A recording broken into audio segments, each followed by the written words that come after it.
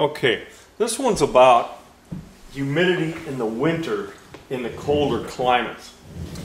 Now I've got an air handler here with a gas furnace, return air here, and the supply is coming up here.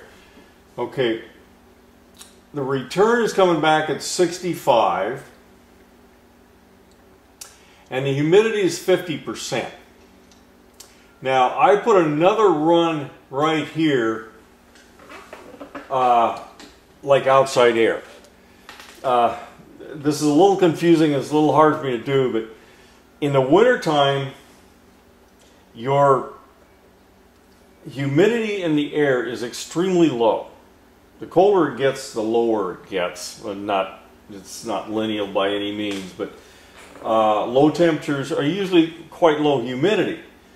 And your home, or whatever structure you're in, has leakage of outside air in. It has to have.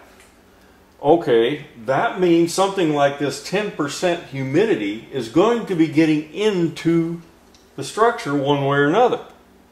And so I may have humidity of 50% coming back through the return, but if I took all the leaks in the house, I would be adding in perhaps a 10% humidity.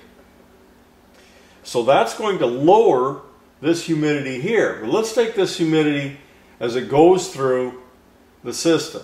Okay, at 120 degrees of duct temperature, my humidity may be 10%. It could be uh, that low. Now when it gets out into the room and gets up to around 70 degrees, you end up with structure humidity of maybe 30%. Now the reason this humidity is so low is a combination of the outside air coming in at low humidity and the fact I raised the temperature. If I raise the temperature, the relative humidity goes down unless I add humidity in or take it out. And in this case, I'm not adding or subtracting any humidity. So we end up with low humidity coming out the ducts. When it mixes into the structure, it's going to go back up, but it's probably going to end up lower than the return humidity, assuming leaks from the outside. That's all that's about. So in the winter, we oftentimes use uh, humidifiers to war uh, to add humidity in because of this 10% humidity in the outside air. Now these numbers aren't all exactly right on money or anything like this. These are all just for illustration.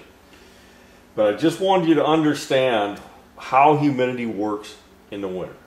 I hope this thing makes sense. Uh, give me a holler if it doesn't.